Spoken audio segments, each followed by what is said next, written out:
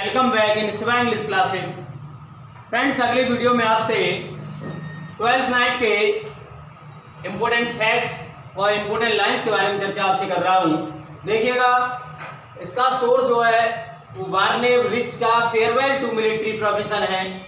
इस बुक से सोर्स है ट्वेल्थ नाइट का और सेटिंग एरिया है या सी कॉस्ट नियर बाई है। सीन है इसकी लेटर सीन है येलो स्टॉकिंग सीन है और इम्पोर्टेंट उसके जो कोटेशंस हैं वो if music with the food of love play on Duke Orsino कहता है 11 में, कहने का मतलब एक्ट फ़र्स्ट सीन फ़र्स्ट ये इसी तरह से लिखा है।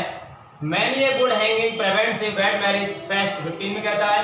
Come away come away death ये फेस्ट ने 24 में कहा है। सम आर बॉर्न ग्रेट है ना? Some achieve greatness and some have great greatness thrust upon them बहुत इंपॉर्टेंट कोटेशन है ये वाला। मॉल में 25 में कहता है। मॉल वॉल्यूम का है। Love sought is is good but given sought is better ये ऑलिवियो थर्टी है ना? ओलिविया ये थर्टी वन में कहती है है ना? Women are roses whose fair flower ये इंपोर्टेंट है कोटेशन भी डी पोर्शन ट्वेंटी फोर में कहता है प्रेजेंट मृत है प्रेजेंट लाफ्टर ये फूल सिंग्स करता है, ये फूल ने गाया है ट्वेंटी ट्वेंटी थर्ड में, अर्थात ट्वेंटी थ्री में एक्ट फ़र्स्ट और सीन थर्ड में। इस तरह से आज के इंपोर्टेंट कोटेशंस और इम्पोर्टेंट फैक्ट्स मैंने आज डिस्कस कर दिए। और अगले वीडियो में आपसे फिर मुलाकात करता हूँ। जय हिंद, जय भारत।